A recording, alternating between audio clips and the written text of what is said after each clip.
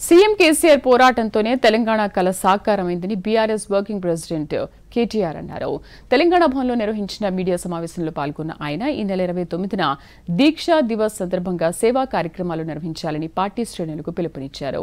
గడిచిన పద్నాలుగు సంవత్సరాలుగా నిర్వహిస్తున్నట్లుగానే ఈ ఏడాది కూడా దీక్షా దివాస్ను ఘనంగా నిర్వహిస్తామన్నారు. బీఆర్ఎస్ను ఓడించేందుకు కాంగ్రెస్ బీజేపీలు ఏకమై కుట్రలు చేస్తున్నాయని కేటీఆర్ ఆరోపించారు. బీజేపీకి చెందిన అగ్రనేతలు పోటీ చేస్తున్న స్థానాల్లో కాంగ్రెస్ డమ్మి అభ్యర్థులను బరిలో దించిందని ఆయన ఆరోపించారు.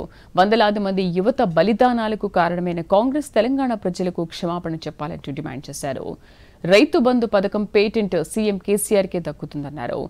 కాంగ్రెస్ నేతల హామీలను తెలంగాణ ప్రజలు విశ్వసించడం లేదని కేటీఆర్ తెలిపారు. దీక్షా దివస్ని మేము జరుపుకుంటాం.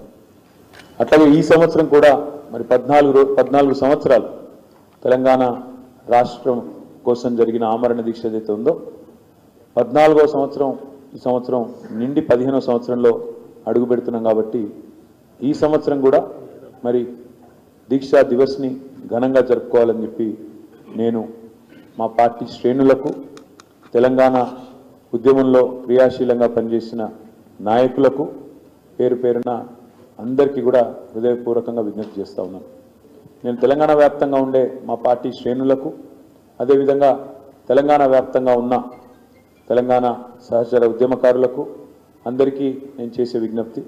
మరి మీరు ఇరవై తొమ్మిది నవంబర్ నాడు ఎక్కడి వారక్కడ దీక్షా దివస్ను ఘనంగా మళ్ళొక్కసారి తెలంగాణ సమాజాన్ని జాగరూకులను చేసే విధంగా చైతన్యవంతం చేసే విధంగా అందరికీ కూడా హృదయపూర్వకంగా విజ్ఞప్తి